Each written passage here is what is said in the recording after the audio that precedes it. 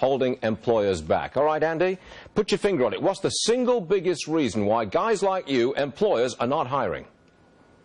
Well, I think it's very difficult to come up with business models that justify the investment you need to make to create jobs when the government keeps increasing the expenses associated with running a business. You increase taxes, you reduce after-tax profits.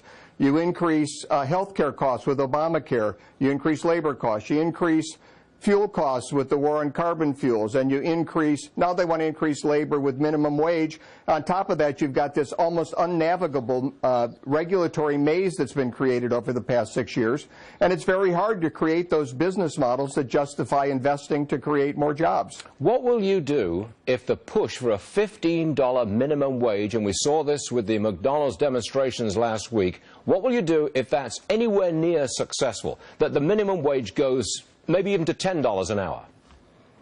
I, I, think you'll see a lot of restaurants closing. I don't think that restaurants can operate profitable if they're paying a $15 an hour minimum wage. So I think you would see a devastating impact to the country. In fact, even the $10 minimum wage increase that uh, President Obama is talking about, the CBO said that would destroy uh, 500,000 jobs. So it, it, the impact here would be uh, would be much greater than even what the president's proposing. You know, the, the president says he's not anti-business.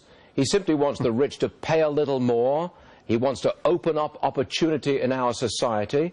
And he's telling wealthier people, you're not doing too badly. Spread it around a little. Is that an anti-business attitude? Well, I think basically everything this administration done has, been, has done has been anti-business. As I said, all the efforts they've made to increase the expenses of running a business. Then on the that's the supply side. That's kind of the Art Laffer approach to business.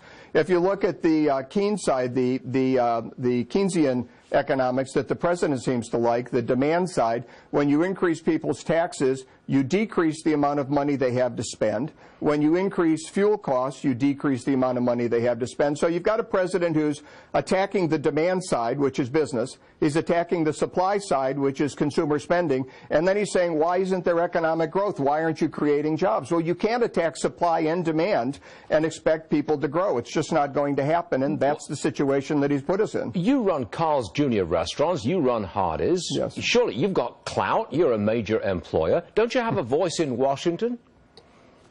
Uh, we, well, we, I, I, go to Washington and meet with, uh, with politicians from both sides of the aisle to try and get what I'll call rational business policies, things that you know don't hurt employees, that actually create jobs, which would help the middle class, the lower class, and young people in this country. And, and I, you know, you'd think we'd be able to make some progress, but I think it's an election year. I don't think, I, you know, I don't think the president's a bad guy. I'm not here to criticize President Obama, but he does not have the experience or the background to understand what it takes to create jobs, and I think he interprets actions by businesses as negative for people when they're really very positive. We're just trying to create jobs and opportunities, right. particularly for young people. Andy, we'll leave it at that, and we thank you very much for joining us today. Thank you, sir. Thank you, Stuart. My pleasure.